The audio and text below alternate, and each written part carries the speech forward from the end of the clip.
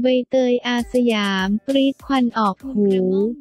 สั่งซื้อแบรนด์เนมหายากแต่ของหายเพราะขนส่งทำเอาคุณแม่คนสวยสุดแซ่บใบเตยสุธีวันหรือใบเตยอาสยามถึงกับเครียดเพราะไล่สึกเจ้าตัวสั่งซื้อแบรนด์เนมมาแต่ของส่งไม่ถึงมือ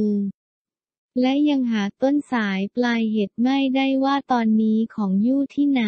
เรียกว่าเครียดหนักสำหรับสาวใบเตยอาสยามที่ล่าสุดได้ระบายถึงเหตุการณ์ของหายอยากได้คืน ลงในเฟซบุ๊กสุธีแวนทวีสิน BOE ข้อความว่า เครียดแบบเลือดขึ้นหูอีแม่ CF ดีออมาแล้วคือทางร้านจัดส่งโดย EMS ไปรษณีย์ไทยมาส่งที่บ้านตั้งแต่วันที่ 9 ในเลขแครบบอกว่าของถึงตั้งแต่วันที่ 10 เวลา 12 นาฬิกา 46 นาทีแกจนป่านนี้ข้าพเจ้ายังไม่ได้ของ แล้วคนที่เซ็นรับของเขียนว่ารอปอพอแต่อีแม่ก็ไปถามรอปอพอ หมู่บ้านก็บอกว่าไม่มีทีนี้ขอดูกล้องวงจรก็ไม่มีไม่มีไปรษณีย์ไหนมาส่งของตรูเลยแล้วตอนนี้คือยังไงอยากรู้มากให้ทางร้านแบรนด์เนมที่สั่งซื้อโทรไปหาไปรษณีย์เช็คทุกอย่าง ว่าของอยู่ไหนส่งที่ไหน หมู่บ้านโครงการไหนอะไรยังไง คืออีแม่ขับรถวนหาทุกโครงการบูเลวาดแถวเรียบด่วนแล้วคือไม่มีสักที่ โอ้เยยจะบ้าตายจะบอกว่าผ้าพันคอที่ฉันพรีมามันหายากมาก แล้วดันมาหายอีกสงไม่ถึงอีกโอ้เยย อีแม่ลมจับเฮือเฮือเฮือเฮือทำยังไงดีๆ ใครเคยเจอเคสส่งของไม่ถึงแบบนี้บ้าง ต้องทำไงแนะนำอีแม่ทีอกอีแป้นจะแตกของหายอยากได้คืนค่า หลังจากนั้นได้มีบัญชีเฟซบุ๊กที่ใช้ชื่อว่า พี่หนุ่มไปรษณีย์ ได้เข้ามาตอบสาวใบเตยว่า เรียนคุณสุธีแวนทวีสินบริษัทไปรษณีย์ไทยจำกัดมิได้นิ่งนอนใจและได้ประสานงานตรวจสอบไปยังที่ทำการไปรษณีย์นำจ่าย จากการตรวจสอบพบว่าเจ้าหน้าที่มีการนำจ่าย EMS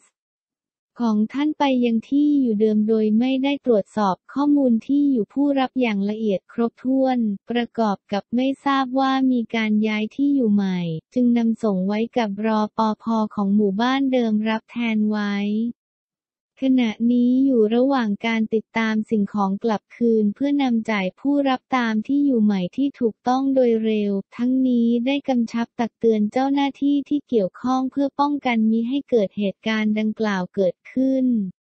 จึงเรียนมาเพื่อทราบและขออภัยเป็นอย่างยิ่งมาณโอกาสนี้ ท่ามกลางบรรดาชาวเน็ตที่เข้ามาแสดงความคิดเห็นกันล้นหลาม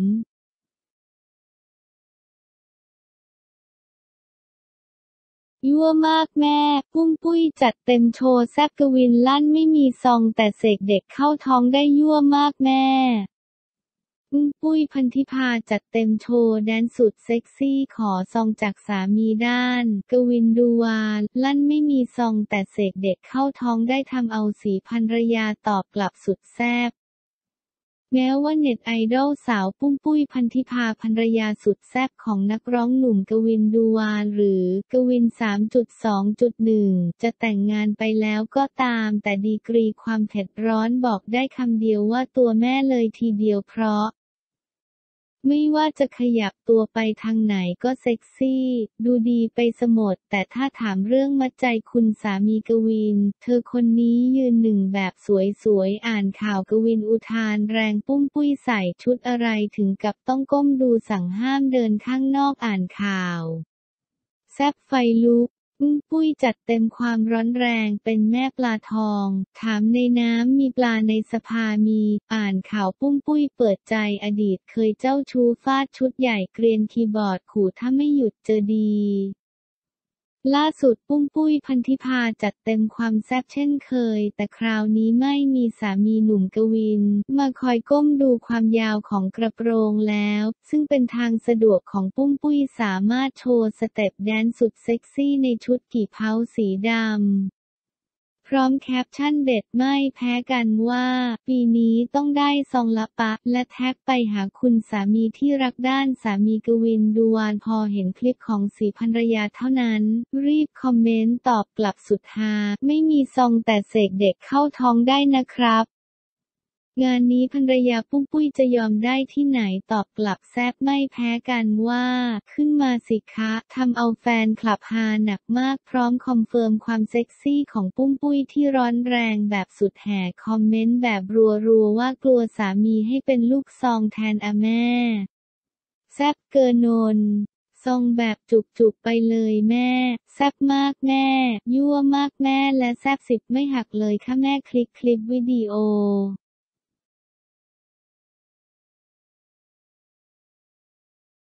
เกรทวรินทร์แจ้งความโดนเพจปลอมแอปอ้างใช้รูปร้านทองหลอกเงินเกรทวรินทร์แจ้งความโดนเพจปลอมแอปอ้างใช้รูปร้านทองหลอกเงินโดนอีกแล้ว คงจะพูดคำไหนไม่ได้อีกแล้วสำหรับพระเอกหนุ่มเกรทวรินทร์ ราะก่อนหน้านี้ก็เพิ่งเป็นข่าวไปว่า เพจร้านทองของที่บ้านโดนแอบอ้าง มารอบนี้โดนเอารูปในร้านทองของครอบครัวไปสร้างเพจปลอมเพื่อหลอกเอาเงินประชาชนงานนี้พอพระเอกหนุ่มทราบข่าวก็รีบแจ้งแฟนๆพร้อมกับเข้าแจ้งความทั้งนี้เจ้าตัวยังแจ้งว่าทางร้านมีเพจเดียว คือเว้นเงินไทย FB ห้างทองหวังเงินไทยเจ๊กุ้งระวังเพจปลอม เอารูปไปใช้ให้คนมากดรับเงินงวนงี้งั้น ถ้ามีผู้เสียหายโดนหลอกจากการแอปอ้างแบบนี้ไปแจ้งความได้เลยครับ ทางร้านเราไปแจ้งความไว้แล้วในกรณีแบบนี้ ทางร้านมีเพจเดียวครับ คือเว้นเงินไทย FB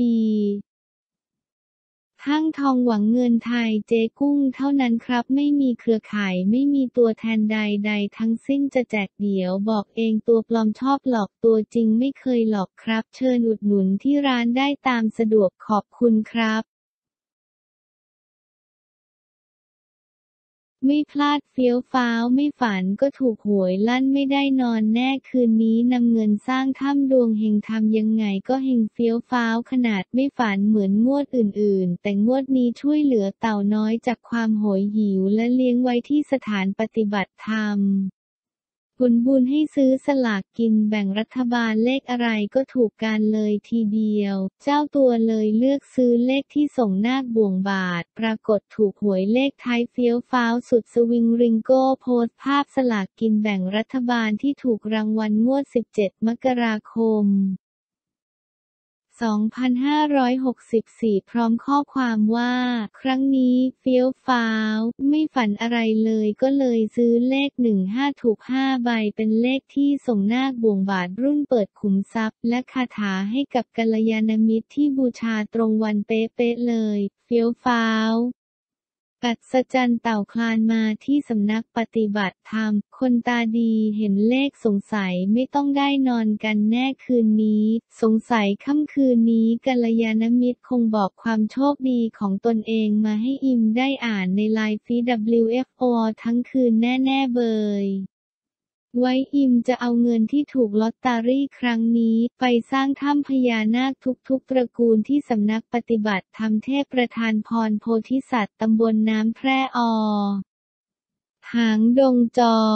เชียงใหม่ขึ้นไปสร้างต่อในเดือนหน้าเนื้อ เพื่อไว้ให้กัลยาณมิตรและลูกหลานพญานาคได้มานั่งสมาธิมาสวดมนต์มาจงกรม ในถ้ำแห่งนี้เมื่อวันใดวันหนึ่งถ้าถ้ำพญานาคสร้างแล้วเสร็จ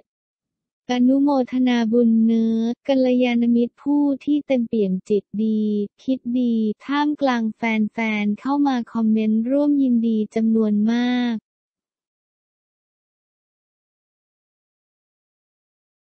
งวดแรกในชีวิต ปันอัครพัฒทะเบียนรถให้โชคถูกเลขท้ายเหนาะเหนาะสี่ใบงวดแรกในชีวิต ปันอัครพัฒทะเบียนรถให้โชคถูกเลขท้ายเหนาะเหนาะสี่ใบงวดแรกในชีวิต